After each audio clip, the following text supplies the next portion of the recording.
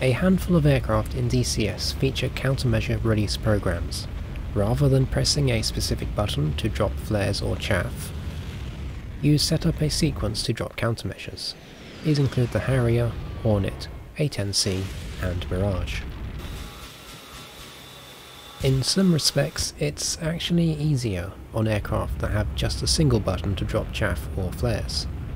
This mostly comes from a lack of understanding, however, of the systems, as they have a relative nuisance to programming them and you may not know what you're going to get when you press the button if you're not familiar with them.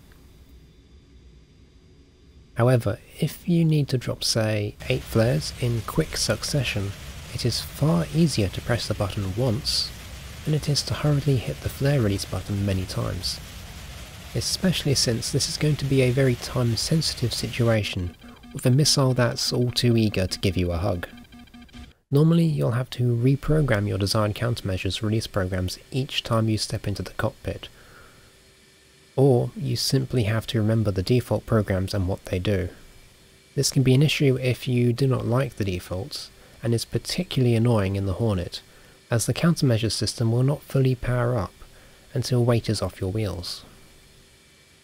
Anyone who has spent some time in Falcon BMS will be familiar with the data cartridge menu found on the planning map. It allows you to customize your aircraft configuration prior to a mission, meaning you can save your countermeasure programs, waypoints, radio channels and settings in general, instead of having to re-enter them for each mission, like we do in DCS. Whilst this feature is sorely missing in DCS, there are some configuration files that you can change that allow you to save your custom countermeasure programs, although they're not all well documented within DCS. They're located within the main DCS folder. I've got their locations and file names on screen now. This will require a little bit of Lua file editing with Notepad, nothing to be scared of however, just changing some numbers much the same as you would within the aircraft itself, it's just done with Notepad. So, let's get started. The easiest way to do this is to go to your DCS shortcut, right click it, go to Properties, select Shortcut, Open File Location. This will now open up your folder for your DCS, in this case we're in the bin folder, so we'll navigate back to the DCS World folder. If you are using Steam, the process is pretty similar, just select your game, right click it, Properties, local files, browse local files. From here, the process is the same whether you're using the Steam version or the standalone. So now we're in the root folder of DCS. We'll go to the mods folder, aircraft, and in this example I'll use the FA-18. Go to cockpit, scripts, TEWS, device, and here you can see the file which we will be editing. Inside we've got our various countermeasure program presets. These include the auto presets. You should not modify these generally speaking as these are what the automatic response systems use, which if you change their function it could mess up the system and give the wrong response. Before we edit anything, we need to make some backups, just to be safe, so I will create a new folder. Call it DCS CMS, Open that. We'll now create a folder for our Hornet. And inside here we'll create a folder for our backup files. So we'll copy across the profile. In addition, because these files get overwritten each time we have an update to DCS, and so we get set back to their defaults, you'll need to access this folder every single time an update is installed. So for convenience, I like to create a copy of the folder and place a shortcut to it so I can easily access the folder and replace the files whenever there is an update. Now we've done that, we shall create an extra copy of the profile, paste it in, and now we can make modifications to this file for how we want it to use. So now we have our programs, let's make some changes. Personally, I like to use manual 1 for chaff, so we'll set a program of 1 I'll remove the flares. Set an interval of 3 and we will cycle it 3 times. so Every 3 seconds we'll drop 1 chaff. And that'll happen until we drop 3 in total.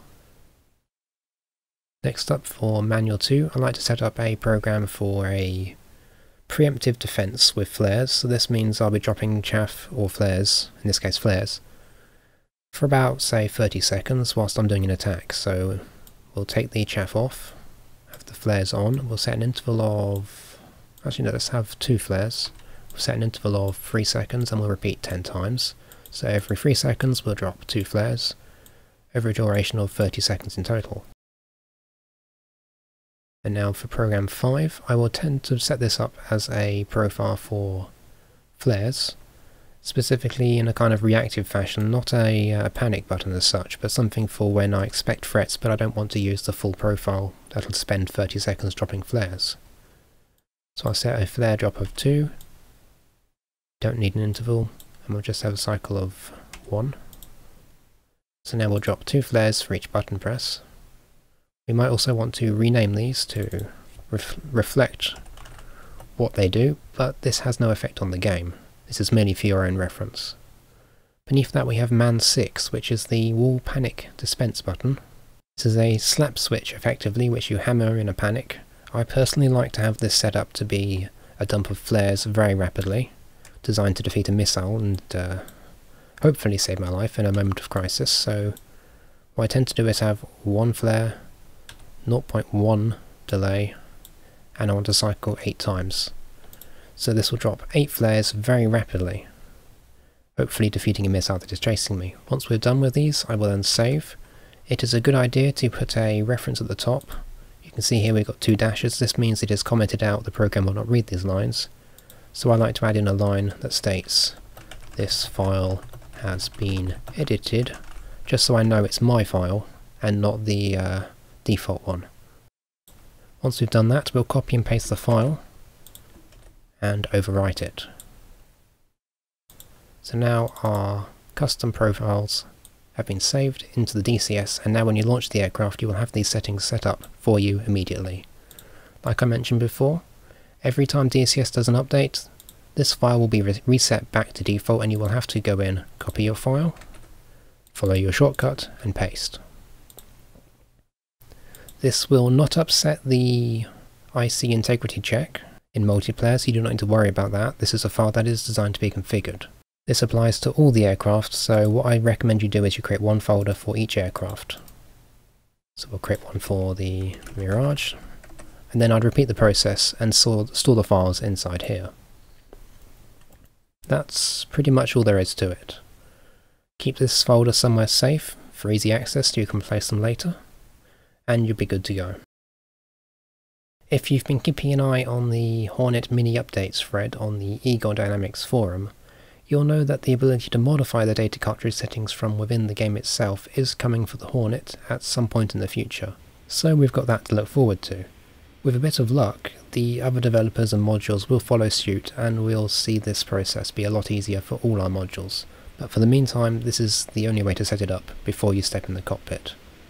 There are programs out there that'll do this for you, or make it easier, but honestly it's such a simple process you don't need them. I hope you found this useful and take care.